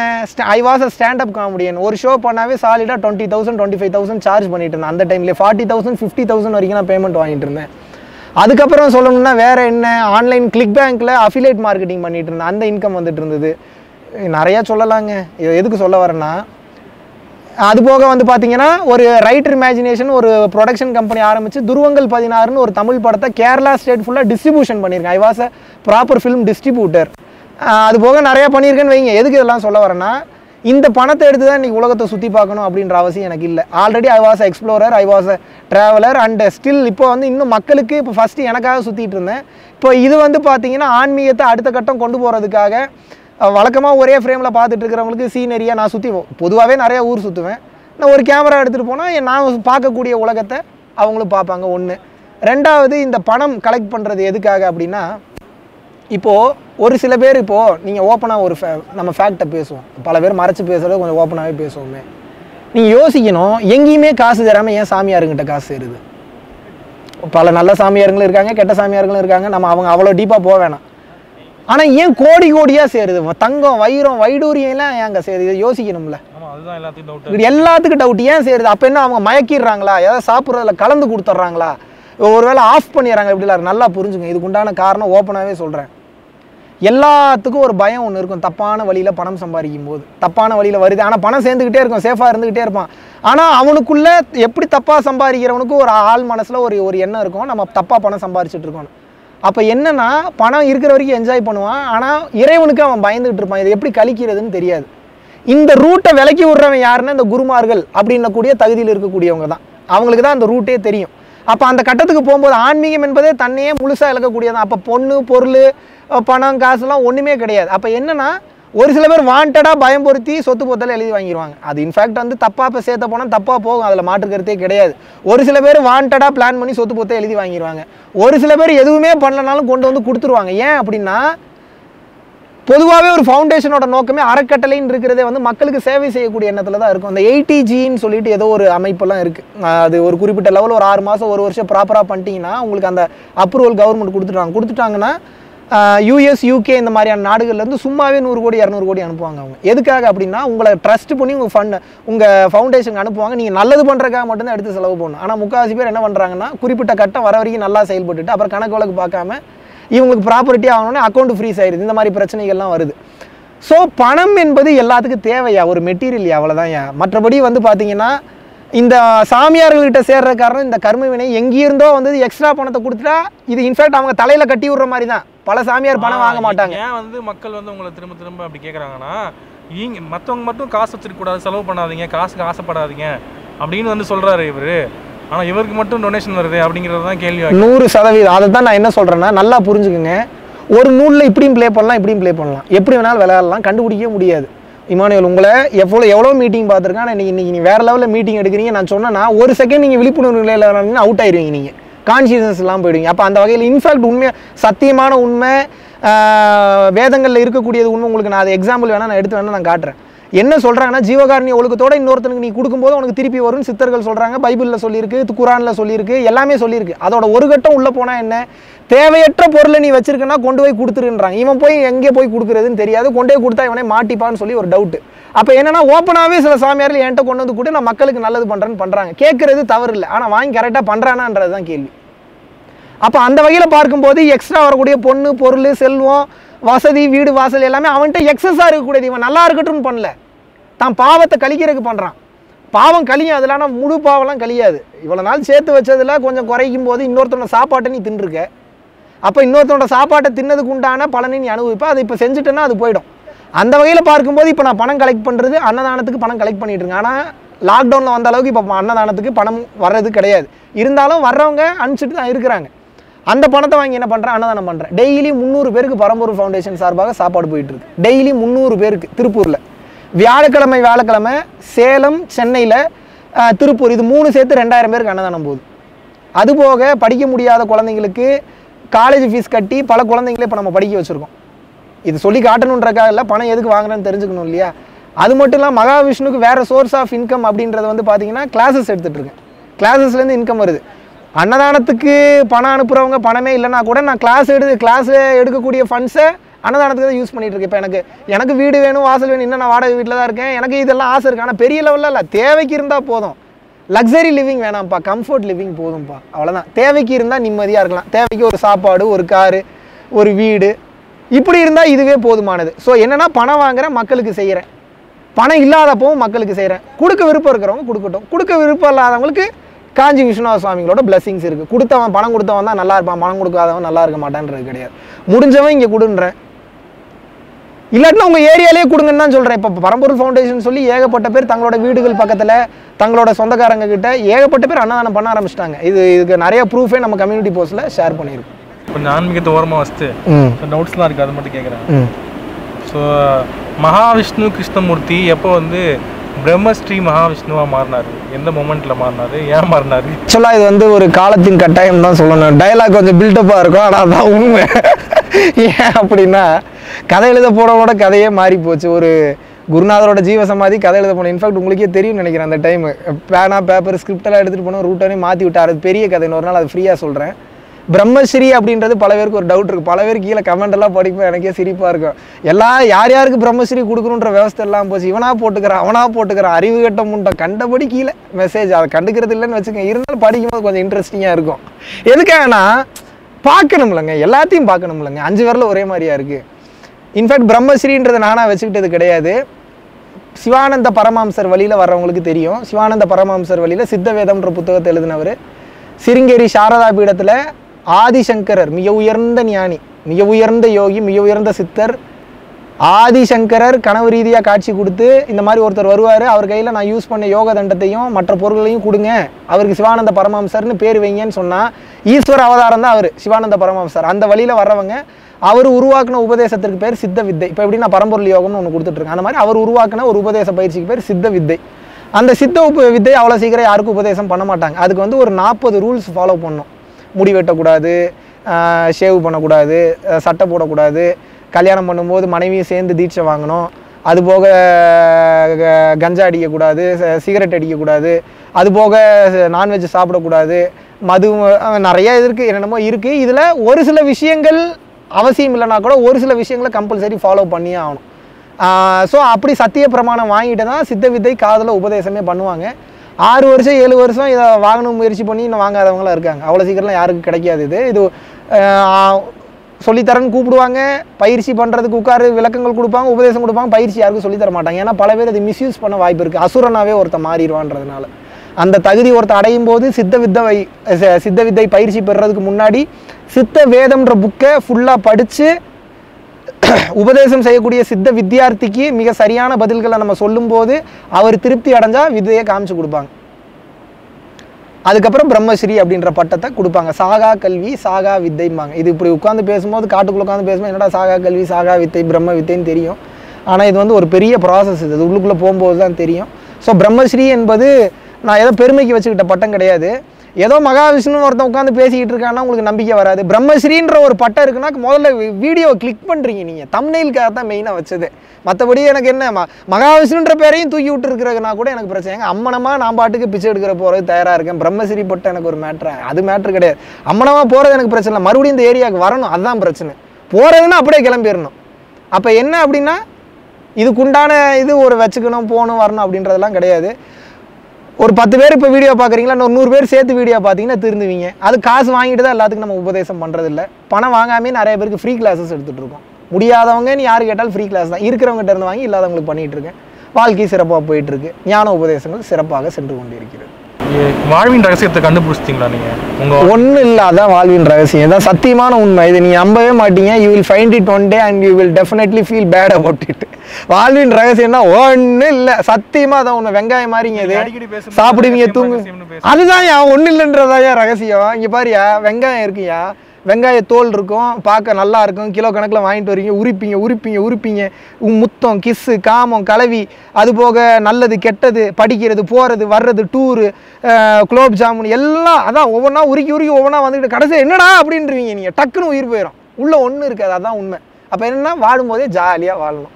எதையும் மனசில் எடுத்துக்கூடாது மன்னிச்சிருங்க எல்லாத்தையும். சில முடியவே முடியாதவங்கள விட்டு விலகி போயிருங்க. வாழ்க்கை திருப்தியாக இருக்கும். பிரம்மஸ்ரீ மகாவிஷ்ணு இதுக்கு முன்னாடி மகாவிஷ்ணுவா இருந்தாரு. அவர் அதுக்கு முன்னாடி சாதாரண ஒரு மனுஷனா தான் இருந்தாரு. திடீர்னு எனக்கு ஞானம் வந்துருச்சு அப்படி சொல்லிட்டு வந்து பேசுறாரு. அவருக்கு எப்படி டிரான்ஸ்ஃபர்மேஷன் கிடைச்சிருக்கு லைஃப்ல அப்படின்னு புரிஞ்சுக்கலாம். அது எப்படி வந்து மற்றவங்க எப்படி ஏன் வந்து அப்படி அவர் டிரான்ஸ்ஃபார்ம் ஆனதுனால அவர் சொல்றதை மற்றவங்க கேட்கணும் அப்படின்னு எந்த ஒரு இதுவும் இல்லையா? எந்த ஒரு நிர்பந்தமும் அவசியம். இன்னொரு விஷயம் என்னன்னா என்ன மாதிரி நீங்களும் ஒரு சக மனுஷன் தானே? ஸோ எப்படி நீங்கள் மட்டும் டிரான்ஸ்ஃபர்மேஷன் கிடைச்சது? அதே எனக்கு கிடைச்சாதான் நான் மாற முடியும். அது எப்படி நீங்கள் வந்து உங்களுக்கு கிடைச்சதை வந்து மற்றவங்களுக்கு வந்து சொல்கிறீங்க அது எப்படி போய் புரியுது? அது வந்து சொன்னாலும் வந்து எப்படி அது அது எப்படி புரிய வைக்கிறது? ரொம்ப கஷ்டம் இல்லையா அது? அதை பற்றி சொல்லுங்கள் அதாவது முதல்ல என்ன ஒரு ஞானின்னு எந்த இடத்துலையும் நான் சொன்னது இல்லை முன்னாடி இருந்ததோட இப்போ ஏதோ ஓரளவுக்கு புரியுதுன்னு சொல்லி தான் எனக்கு சொல்கிறத புரிஞ்சுட்டு இதுக்கு அப்பயே பதில் கொடுத்துட்டேன். அதோட ஷார்ட் வெர்ஷன் என்னென்னா எனக்கு தெரிஞ்சதை நாலு பேருக்கு சொல்கிறேன் ஃபாலோ பண்ணுறவங்க ஃபாலோ பண்ணுறாங்க ஃபாலோ பண்ணாதவங்க நான் அதை பற்றி கண்டுக்கிறது இல்லை ஆனால் தடி திடீர்னு கிடச்ச இந்த ஒரு டிரான்ஸ்ஃபர்மேஷன் இருக்குல்ல. இது எப்படிப்பட்ட ஒரு டிரான்ஸ்ஃபர்மேஷன் அப்படின்னா இப்போ நீங்கள் காரில் போயிட்டுருக்கீங்க. காரில் போயிட்டுருக்கும்போது முன் டயர்லேயும் முன் டயர் ரெண்டு டயரில் வந்து பார்த்தீங்கன்னா தேர்ட்டி ஃபைவ்க்கு வந்து பார்த்தீங்கன்னா டுவெல் தான் இருக்குது காற்று. இப்போ வந்து பார்த்தீங்கன்னா இவ்வளோ நாள் நீங்கள் டொல்லியே தான் ஓட்டிகிட்டு இருந்திருக்கீங்க. அது எனக்கு நல்லா தெரிஞ்சு ப்ரூவன் திங் உங்களுக்கும் தெரியும். தப்பாக தான் போயிட்டுருக்கு. வண்டி சரியில்லை டயர் சரியில்லைன்றது உங்களுக்கு தெரிஞ்சிருச்சு. இப்போ நான் என்ன சொல்கிறேன்னா இது இப்போ டொல் வச்சா ஓடாது முப்பத்தஞ்சு வச்சா தான் ஓடுன்ற தெளிவு எனக்கு கிடச்சிருச்சு. இந்த முப்பத்தஞ்சு தாண்டினா என்னன்றது எனக்கும் தெரியாது. ஆனால் முப்பத்தஞ்சு வச்சிங்கன்னா வண்டி சூப்பராக போகும் ஜம்முன்னு போகும் ஆ, போகும் ரைட் இழுக்காது லெஃப்ட் இழுக்காதுன்றது எனக்கு தெரிஞ்சு போச்சு. அப்போ நான் என்ன சொல்கிறேன் உங்கள்கிட்ட இங்கே பாரு முப்பத்தஞ்சு வைங்க நல்லா போகுன்றேன் முப்பத்தஞ்சு வைக்கணுன்றானே சரி கேட்போம் அப்படின்னு முப்பத்தஞ்சு வைக்கிறவன் நல்லா வண்டி ஓட்டிட்டு போகிறான் இல்லை நான் பன்னெண்டுலேயே தான் ஓட்டுவேன்றவன் பன்னெண்டுலேயே ஓட்டிட்டு தெரியிறான். அப்போ அப்போ நான் என்ன சொல்கிறேன் அப்படின்னா முப்பத்தஞ்சுன்றது ஆப்ஷன் இருக்குப்பா. செட் பண்ணி வச்சனா வண்டி நல்லா போகும். பன்னெண்டுலேயே ஓட்டுறனால உன் சௌரியம் ஓட்டிக்கன்னு தான் சொல்கிறேன் நீங்கள் சொல்கிறீங்களே இப்போ நீங்கள் அதை உணர்ந்தீங்களே ஒரு கட்டத்தில் இந்த மாதிரி நான் காற்று கம்மியாக வச்சு ஓட்டிட்டு இருக்கேன் அப்படின்னு. அந்த மாதிரியான அந்த உணர்தல் நிலை அப்படிங்கிறது எல்லாத்துக்குள்ளேயும் இண்டிவிஜுவலாக வரணும் இல்லையா? இண்டிவிஜுவலாக வரும்போது தானே வந்து இதுக்கு நான் பதில் நான் அப்பவே சொல்லிட்டேன் மானுவேல் என்ன பதில் சொன்னேன்னா நல்லா யோசிச்சு பாருங்க. இது அதுவாகவே நிகழும். இது தகுதி உள்ளவர்களுக்கு நிகழும். அதுக்காக யாரும் போகக்கூடாதுன்றது இல்லை இன்னைக்கு நம்ம நடக்க எல்லாரும் இதில் தான் நடந்தாகணும். நான் எல்லாரையும் எண்டு கொண்டு போய் விடுவேன்னு நான் சொல்லலை. அந்த பாதையை போட்டு கொடுத்துட்றேன். அதுக்குண்டான மெட்டீரியல்ஸை கொடுத்துட்றேன். இன்னைக்கு நடக்க ஆரம்பிச்சனா அது என்னைக்காவது போய் சேருவேன் நீ. உடனே நிகழும்னா அது எனக்கே தெரியாது. ஒரு சில பேருக்குள்ள நிகழ்றது எனக்கே ஷாக்கிங்காக தான் இருக்குது. டேய் என்னடா நீ எல்லாம் டிரைவரா அப்படின்ற மாதிரி உனக்கு எப்போ அது நிகழ்ந்ததுன்ற மாதிரி தான் இருக்குது. அது எப்போ நடக்குதுன்னா நமக்கே ஷாக்கிங்காக தான் இருக்கும் அது. திடீர்னு வந்து ட்ரான்ஸ்ஃபார்ம் ஆயிட்டீங்க முன்ன பார்த்த மகாவிஷ்ணு வேற இப்போ பார்க்குற மகாவிஷ்ணு வேற. இப்போ லைஃப் ஸ்டைல் எப்படி இருக்கு? முன்னெல்லாம் வந்து ஐ மீன் ஃபோனில் ஐ மீன் நார்மலாக தான் இருப்பீங்க. இப்போ எப்படி இருக்கீங்க? என்ன மாதிரி வாழ்ந்துகிட்டு இருக்கீங்க? நான் இப்படி தான் வாழ்ந்துட்டு இருக்கேன். எப்படி இருக்கு? ஜாலியாக இருக்குது சத்தியமாக சொல்கிறேன் முன்னாடிலாம் எனக்குமே பதட்டம் இருக்கும் படபடப்பு இருக்கும். ஒன்றாம் தேதி ஆனால் டியூ கட்டணுமே லோன் கட்டணுமே ஈவெண்ட் எவன் புக் பண்ணுவான் எவன் கல்யாணம் வைப்பான் இப்படி எல்லாம் இருக்குது இப்போ நல்லா புரிஞ்சு போச்சு. அது கரெக்டாக நடக்கிறது தான் நடக்குன்றது தெரிஞ்சு போச்சு. அந்த புரியல் நல்லா டீப்பாக வந்துருச்சு. இந்த விஷயம் உங்களுக்கும் தெரியும். நம்ம சும்மா இருந்தால் எல்லாம் தானாக நடக்குன்ற ஒரு சில பேர் தெரியாம. நம்ப மாட்டாங்க அதனால இதில் பாதி அதில் பாதின்னு இருக்காங்க ஜாலியாக போகுது நிம்மதியாக இருக்கேன். வடிவேல் காமெடி வர மாதிரி நினச்சிக்கிட்டா போ. எப்படி? சும்மா இருக்கு சும்மா இருக்கணும். ஆமா ஜாலியா இருக்குது. ஒரு மாதிரி சூப்பரா இருக்குது. வேற லெவல்ல இருக்குது. தெரிஞ்சதை நாலு பேருக்கு சொல்லிக்கிட்டு பிடிச்சதை ஷேர் பண்ணிக்கிட்டு இதுல பல பேருக்கு ஒரு உனக்கு என்னப்பா பணம் காசு வருது நல்லா இருப்ப? அப்படின்னு ஒரு கேள்வி வரும். அதுக்கு நான் பதில் சொல்லிடுறேன். ஏன் வயிறு எறியறீங்க? உங்களுக்கு பிடிச்சதை பண்ணீங்க உங்களுக்கு பணம் காசு வரியா? நீங்க என்னைய பார்த்து வயிறு எறியறீங்க? ஒருத்தன் இத்தனை வருஷம் கஷ்டப்பட்டு அவமானப்பட்டு சின்னாபின்னப்பட்டு துன்பப்பட்டு துயரப்பட்டு காஞ்சிப்பட்டு அந்த பட்டு இந்த பட்டு வந்து ஒரு குறிப்பிட்ட கட்டத்துக்கு மேலே ஏதோ ஒரு ஒளி தெரியுதேன்னு வரும்போது வையா வயிறு எறியறீங்க? வயிறு எறியாதீங்க. நான் என்ன சொல்கிறேன்னா உங்களை பார்த்து மற்றவன் வயிறு எறிகிற அளவுக்கு நீங்கள் வளர்ந்துருங்கன்றேன். நீங்கள் நம்ம ஃபேமிலிக்குள்ளே வந்துருங்க. மற்றவனை வயிறு எறிய வைக்கக்கூடிய ஒரு ஃபேமிலி. நீங்கள் ஏன் பக்கம் வந்துருங்க? நீங்கள் ஏன் வந்து தேர்ட் பர்சனாகவே இருக்கீங்க? நீங்க தான் சொல்லிருக்கீங்க வயிறு எரிய யாரும் வயிறு எறியக்கூடாது அப்படின்னு. இவ இவங்க எப்படி அப்படின்னா வயிறு எரியக்கூடாது அது ஒரு டாபிக் பேசியிருக்கேன். அப்பப்போ வயிறு எரிஞ்சுக்குங்க தப்பு இல்லை. ஏன்னா அப்போ தான் உங்களுக்கு ஒரு வெறி வரும் ஒரு வேகம் ஒன்று வரும். யாருமே இன்னைக்கு பட்ட கஷ்டத்தை எங்கே பார்க்குறான்? ரிசல்ட்டை மட்டும்தானே பார்க்குறான். ஒரு மிகப்பெரிய மலை கப்ப க கடல் மேலே இருக்குது அப்படின்னா அந்த ஒரு விளக்க படம் ஒன்று போடுவாங்க. கீழே வந்து பார்த்தீங்கன்னா ஒரு ஒரு ஒரு நூறு கிலோமீட்டர் அவ்வளோ பெரிய மலை கீழே இருக்கும். அதனுடைய பேஸில் தான் இந்த மலையே மேலே தெரியும். எல்லாருக்கும் மேலே இருக்கிற வளர்ச்சி தான் தெரியும் கீழே இருக்கிற கஷ்டம் எவனுக்கும் தெரியாது. அதுதான் உண்மை. ஸோ அப்போ இப்போ வந்து நார்மலான லைஃப் லைஃப் ஸ்டைலில் தான் இருக்கிறீங்க. எப்படி சொல்கிறது முன்னாடியே இப்படி தான் இருந்தேன் பட்டு இடையில இடையில கொஞ்சம் ரூட் மாறி போவேன் கொஞ்சம் குதர்க்கமாக யோசிக்க தோணும். இப்போ கொஞ்சம் ஜாலியாக இருக்குது ரொம்ப ஜாலியாக இருக்குது இதை வந்து இப்போ நான் வேறு மாதிரி சொல்லட்டுமா? இதை நான் கேஷுவலான மனிதனாக சொல்லிட்டேன். இப்போ பாருங்கள் உங்களுக்கு இந்த இடத்துல நான் ஒரு சின்ன ஒரு சேஞ்ச் ஓவர் நான் கொடுக்குறேன். இதே ஒரு மிகப்பெரிய ஞானி லெவலில் பேசுகிறதுனாலும் பேச தெரியும். அப்படி பேசினா நீங்கள் பயந்துருவீங்க பார்க்குறீங்களா ஆக்சுவலாக மாணவர்கள் இது வந்து ஒரு சாதாரணமான உலகம். உங்களை பொறுத்த வரைக்கும் தான் மனிதர்கள் பெண்கள் ஆண்கள் அப்படின்ற மாதிரி இருப்பாங்க. என்னை பொறுத்த வரைக்கும் எப்படின்னா எல்லாமே ஆண் பெண் தத்துவம் தான் எல்லாமே சிவசக்தியின் ரூபம் தான் உங்களை பொறுத்த வரைக்கும் தான் பெண்ணை வேற பார்க்குறீங்க ஆணை வேற பார்க்குறீங்க. நான் எப்படி பார்க்குறேன்னா எனக்குள்ளேயே இடகலை ஓடுது பிங்கலை ஓடுது. சூரியகலை ஓடுது சந்திரகலை ஓடுது. சந்திரகலை என்பது பெண் சூரியகலை என்பது ஆண். ஸோ நான் எனக்குள்ளேயே நான் என்னுடைய பெண் தன்மையை உணர்ந்துக்கிறேன். இது ஒன்று இன்னும் சொல்ல போனோம் அப்படின்னா எவனொருவன் பிரம்ம நிலையை உணர்ந்து விட்டானோ விண்டவர் கண்டதில்லை கண்டவர் விண்டதில்லைன்றாங்க அப்படின்னா என்ன? பார்த்தவன் பேச மாட்டான் பேசுறவன் பார்க்க மாட்டானா? உண்மையை பார்த்துனா ஒருத்தன் பேச மாட்டான்னு அர்த்தம் இல்லை. உண்மையை நீங்கள் பார்க்கும்போது உங்களால் பேச முடியாது ஏன் பேச்சு வராது. கதறுவீங்க அழுவீங்க சிரிப்பீங்க உணர்வு நிலையில் இருப்பீங்க. அதான் கண்டவர் விண்டதில்லை பார்த்தவன் பேச மாட்டான். விண்டவர் கண்டதில்லை அப்படின்னா பேசிகிட்டு இருக்கவன் பார்க்க மாட்டானா? பேசிகிட்டு இருக்கும்போது என்னால் பார்க்க முடியாது. அமைதிக்குள்ளே போனால் தான் பார்க்க முடியும். இதுதான் அர்த்தம். அப்போது ஒரு உங்களை பொறுத்த வரைக்கும் ஒரு சரக்கு அடித்தாலோ இல்லை ஒரு சிகரெட் அடித்தாலோ ஒரு செக்ஸில் போனால் தான் இன்பம் நீங்கள் நினச்சிட்டு இருக்கீங்க. என்னை பொறுத்த வரைக்கும் அப்படி கிடையாது. இந்த மீட்டிங் முடிஞ்ச உடனே இந்த செகண்ட் இங்கேருந்து இப்படி மேலே இருந்துச்சுன்னா எனக்கு அதுவே இன்பம் தான். என்னோடய கோலை நான் இப்படி தான் ஃபிக்ஸ் பண்ணிக்கிறேன். இப்போதைக்கு இப்போது உங்களுக்கு ஏன் வந்து ஒரு செயின் சாதாரண சாவி உங்ககிட்டயே இருக்குது காணாமல் போனோடனே கடுப்பாகிறீங்க கிடச்சோடனே ஒரு நிம்மதியை ஃபீல் பண்ணுறீங்கல்ல ஆனால் சாவி இருக்கும்போது ஏன் அந்த சந்தோஷம் வரல உங்களுக்கு? அப்போ தொலைஞ்சிருச்சுன்ற ஒரு டேட்டாவை போடுறீங்க. கிடைச்சிருச்சுன்ற ஒரு டேட்டாவை புதுசாக போட்டு நீங்களா சந்தோஷம் ஆகிக்கிறீங்க எதுக்கு இந்த கண்ணாமூச்சி விளையாட்டு? அப்போ என்னன்னா நூறு கோடி வேணுன்ற ஃபிக்ஸ் பண்ணீங்கன்னா நூறு கோடி கிடைக்கிற வரைக்கும் உங்களுக்கு சந்தோஷம் இருக்காது. நான் ஏன் கோலில் எப்படி ஃபிக்ஸ் பண்ணிக்கிறேன்னு பாருங்க. இந்த செகண்ட் இந்த மீட்டிங் பண்ணணும். இந்த செகண்ட் கேமரா ஒழுங்காக ஓடணும். இந்த செகண்ட் மைக் நல்லா இருக்கணும். இந்த செகண்ட் இமானுவேல்கிட்ட பேசணும். இந்த செகண்ட் பதில் சொல்லணும். இந்த செகண்ட் எந்திரிச்சு மீட்டிங் முடிச்சோன்னா எந்திரிச்சு போய் படுத்து தூங்கணும். அவ்வளோதான் இருக்கு. நிம்மதியாக இருக்கேன் பிரம்மஸ்ரீ மகாவிஷ்ணுவோட ஃபியூச்சர் பிளான்ஸ் என்ன? பரம்பொருள் ஃபவுண்டேஷன் இப்போ இப்போ தானே ஏன் நான் சொன்னேன்? நான் ப்ரெசென்ட்டில் வாழ்கிறவனுக்கு ஃபியூச்சரை பற்றின எது இருக்கு அதை பற்றி திங்கிங்கே இல்லை. சாப்பாடு போடணும்னு ஞானத்தை போதிக்கணும். அவ்வளோதான் எண்டு மை எண்டு எண்டு கிடையாது. ஆஃபீஸ் இது வந்து ரெக்கார்ட் ஆகிட்டு ரெக்கார்ட் ஆகட்டும். ஏன் அதனால அதான் உண்மை. ஒரு ஒரு நோக்கம் இல்லை ஒரு குறிக்கோள் இல்லை. இப்படி ஆகணும் அப்படி ஆகணும் எதுவும் கிடையாது. வருவேன் போவேன் தூங்குவேன் சாப்பிடுவேன் போவேன் வருவேன். அவ்வளோதான் சரி லௌகிக வாழ்க்கையை பற்றிலாம் பேசலாமே. லௌகிக வாழ்க்கை எப்படி இப்போ நம்ம லௌதிக வாழ்க்கையில் தானே இருக்கோம். லௌதிக வாழ்க்கையில் தான் கேமரா இருக்குது லௌதிக வாழ்க்கையை பற்றி தான் பேசுகிறோம் லௌதிக வாழ்க்கைன்றது என்னையா? புரிதல் இல்லாமல் வாழ்கிற வாழ்க்கை லௌதிக வாழ்க்கையா? புரிதலோட வாழ்கிற வாழ்க்கை ஆன்மீக வாழ்க்கை அவ்வளோதான் ஆன்மீகத்தை இப்போ லௌதீகத்தில் புகுத்தும் போது ஜாலியாக இருக்குது நீங்கள் கதறதெல்லாம் பார்க்கும்போது ஜாலியாக தெரியுது. என்ன மற்றவன் வந்து கஷ்ட கவலையில் இருக்கும்போது வள்ளலார் வருத்தப்பட்டாரு. நம்ம இன்னும் அந்த அளவுக்கு பக்குவத்துக்கு போகலல்ல. ஆரம்ப கட்டத்தில் நம்ம பார்க்குறோம் ஐயோ இப்படி புரிஞ்சுக்காம நம்மளே வேற திட்டுவான் அவன். ஒரு புரிதல். ஓகே அது கேட்கட்டா நான். கேளுங்க கேளுங்க. வீகனிசம் வீகனிசம் பத்தி தெரியும்ல உங்களுக்கு? ஸோ வள்ளலாரும் ஜீவகாரணியமும் வெகனிசமும் கிட்டத்தட்ட ஒன்று தான் அப்படின்னு சில பேர் புரிஞ்சுக்கிறாங்க. ரெண்டும் ஒன்றா வெகனிசத்தை நீங்கள் ஆதரிக்கிறீங்களா? வள்ளலார் ஆதரிச்சிங்கன்னா ஜீவகாரணத்தை ஆதரிக்கிறீங்க ஆதரிக்கிறவங்க. இதை பற்றி ஆல்ரெடி ஒரு டீட்டெயில்டான வீடியோ போட்டேன். நூறு சதவீதம் நான் புலால் மறுப்பாளன். நான்வெஜ்ஜுக்கு எதிரி. ஸோ வந்து பார்த்தீங்கன்னா வெஜ்ஜை ஃபாலோ பண்ணுறது நல்லது. ஏன் அப்படின்றது டீட்டெயிலாக சொல்லிட்டு உங்களுக்கு சிம்பிளாக சொல்லிடுறேன். வானாமிர்தம் என்பது ஊறுவதற்கு ஒரு சில விஷயங்களை நம்ம ரெகுலராக ப்ராக்டிஸ் பண்ண வேண்டியதாக இருக்கும். ஸோ ஒரு சில குணங்கள் வெஜ்ஜை சாப்பிடும்போது கொஞ்சம் குறையும் தன்மை மாறும். ஸோ மனிதத்தன்மையிலேருந்து மிருகத்தன்மை வெஜ்ஜு சாப்பிட்றவங்க எல்லோரும் மிருகத்தன்மையோட இல்லாமல் இல்லை அப்படின்லாம் கிடையாது. மாற்றி மாற்றி இருக்காங்க. வெஜ்ஜு கொஞ்சம் சப்போர்ட் பண்ணும். உண்மையான உணவு என்பது வகனாமிருதம் தான்.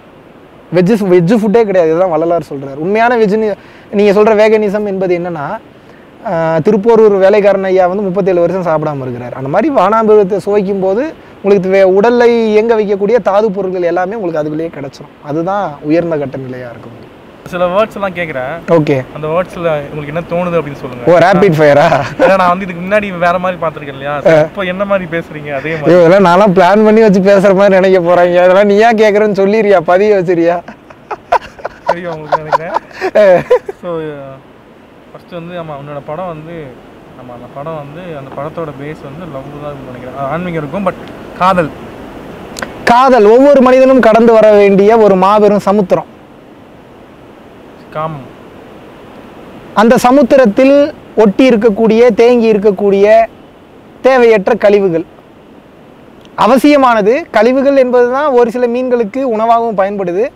அது எப்போ உணவாக பயன்படணும் எப்போ கழிவாக இருக்கணும் அப்படின்றது நமக்கு தெரியணும். அந்த புரிதல் அந்த மீட்டர் இருக்கணும். மோட்சம்.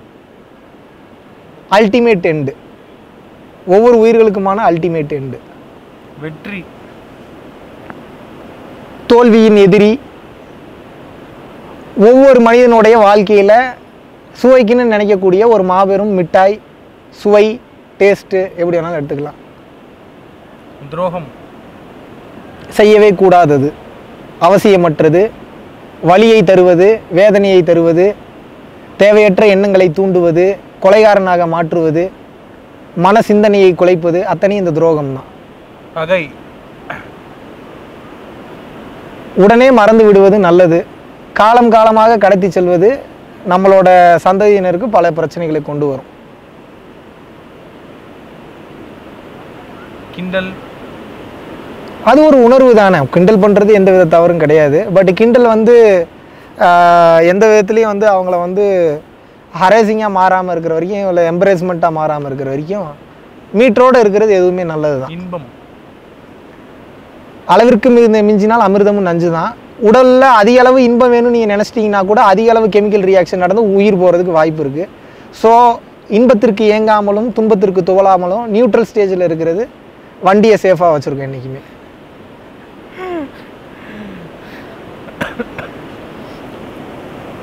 பாசம்.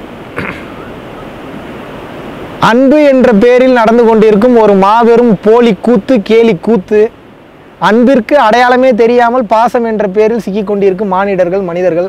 அட்டாச்மெண்ட்ஸுக்கு இன்னொரு பேர் பாசம். அட்டாச்மெண்ட்டு பாசம் அப்படின்றது இருந்ததுனாவே வலிக்கும் குத்தும் கொடையும் ஒன்றை கொடுக்க தோணாது தேட தோணாது பார்க்க தோணாது அதுலேயே லைச்சிருக்க இருக்க தோணும். ஸோ பாசம் என்பது கட் செய்யப்பட வேண்டிய ஒன்று. அன்பு என்பது காட்டப்பட வேண்டிய ஒன்று. அன்பிற்கு பாசத்திற்கு என்ன டிஃப்ரென்ஸு ஒரு பூவை உங்களுக்கு பிடிச்சதுன்னா நீங்கள் என்ன பண்ணுவீங்கன்னா பாசம் பாசமாக இருந்தீங்கன்னா பிடுங்கி தலையில் வச்சுப்பீங்க. அதே பூவை உங்களுக்கு பிடிச்சிருந்ததுன்னா தண்ணி ஊற்றுவீங்க உயிர் போகக்கூடாதுன்னு நினைப்பீங்க. சரி நட்பு. ஆயக்கலைகள் அறுபத்தி நான்கும் கற்று இருக்கக்கூடிய ஆற்றல் நிலை இந்த பிரம்மத்தை உணரக்கூடிய தன்மை இந்த இந்த மாதிரி வந்து உச்சகட்ட நிலை எதெல்லாம் நம்ம ஆன்மீகத்தில் பேசுகிறோமோ அந்த மாதிரி இந்த இந்த உலக வாழ்க்கைக்கு உச்சகட்ட நிலை எதுனா ஃப்ரெண்ட்ஷிப் மட்டும்தான். எதையும் ஷேர் பண்ணிக்கலாம் எதையும் பேசிக்கலாம் எங்கேயும் போகலாம் எங்கேயும் வரலாம். ஒரு கணவன் மனைவி கிட்ட இருக்கக்கூடிய அன் அந்யோன்யம் கூட அந்த அளவுக்கு இருக்காது. ஒரு ஃப்ரெண்ட்ஷிப்புக்குள்ள அந்த அளவுக்கு இருக்கும். அது அது அளவில்லாதது முடிவில்லாதது அளவற்றது பறந்து விரிந்து செல்வது ஒரு டெஃபினிஷன் இல்லாதது அது ஒரு ஒரு விளக்கம் தர முடியாத ஒரு சூழ்நிலைங்க. நட் நட்புறவு என்பது. ஆமாவா இல்லையா? மட்டும் சொல்லுங்க.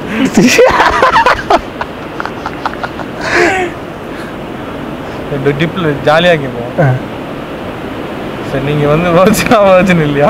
நான் வேர்ஜின் இல்லை. நெக்ஸ்ட்டு இதில் என்ன டவுட்டு இதில் என்ன வெக்கம்?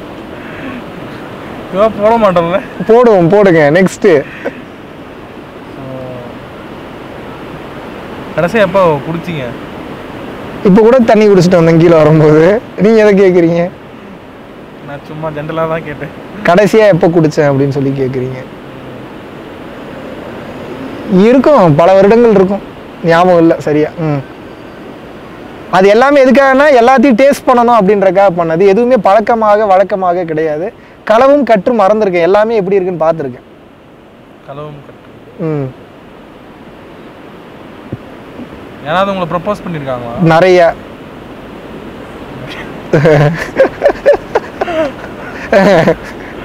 மேலே. இதுக்கப்புறம் என்ன கேட்கறது இதுக்கிட்ட கேட்டாலும் ஆமா சொல்ல போறீங்க. அதனால வந்து சரி போதும். நம்ம முடிச்சுக்கலாம். ரொம்ப சந்தோஷமாக இருக்குது இதை ஒரு அற்புதமான ஒரு உரையாடலாக மாற்றினேன் இமானுவேல் சதீஷ் அவர்களுக்கு மனமார்ந்த நெஞ்சார்ந்த நன்றி தெரிவித்துக் கொள்கிறேன். எப்படி எங்களுக்குள்ளே ஒளிவு மறைவு இல்லாமல் இருக்கோ அந்த மாதிரி தான் வெளியில் மேக்ஸிமம் இருக்கிறோம் இருப்போம். அவருக்கு என்ன தான் வந்து பார்த்தீங்கன்னா ஃபஸ்ட்டு தந்தி டிவியில் ஒர்க் பண்ணிட்டு இருந்தார் அப்புறம் பிஹைண்ட் வுட்ஸில் இருந்தார். இப்போ கொஞ்சம் பிஸியான பர்சன் தான். இருந்தாலும் ஒரு சில விஷயங்கள் கூடவே இருந்து ஆர்கனைஸ் பண்ணுறதுக்காக இங்கே கூட்டு வந்திருந்தோம். அவரோட பிஸி ஷெட்யூல்லையும் இவ்வளோ பொறுமையாக வந்து இந்த ஒரு இன்டர்வியூவை அற்புதமான இன்டர்வியூவாக மாற்றின இமானுவேலுக்கு என்னுடைய நெஞ்சார்ந்த நன்றிகளை தெரிவித்துக் கொள்கிறேன். தேங்க்யூ ப்ரோ ரொம்ப ஃபார்மலாக இருக்குது தேங்க்யூ ஸோ ரொம்ப நன்றி ப்ரோ ரொம்ப தேங்க்ஸ் ஆக்சுவலி நானே உங்ககிட்ட சொல்லணும்னு நினச்சேன். ஸோ டிரான்ஸ்ஃபர்மேஷன் தான் உங்கள் லைஃப்பில் வந்து உங்களுக்கு கொண்டு வந்திருக்கு. ஸோ அந்த ட்ரான்ஸ்ஃபர்மேஷன் எங்களுக்கே வியப்பாக தான் இருக்குது ஸோ உங்கள் ஃபாலோவர்ஸ் எல்லாமே உண்மையாக வந்து அதாவது இந்த வயசில் ஒரு இந்த மாதிரி ஒருத்தர் பேசுகிறார் அப்படின்னும் பொழுது நிறைய உங்களோட வயசில் பெரியவங்களாம் இறங்கி வந்து உங்ககிட்ட கேட்குறாங்க அப்படின்னும் பொழுது நீங்கள் வந்து என்ன சொல்கிறது ஏதோ உங்ககிட்ட இருக்குது அப்படின்னு தான் வராங்க. ஸோ எதுவும் இல்லாமல் நெருப்பு இல்லாமல் புகையாது இல்லையா? ஸோ அந்த மாதிரி தான். ஸோ நல்ல விஷயம் வாழ்த்துக்கள். நன்றி.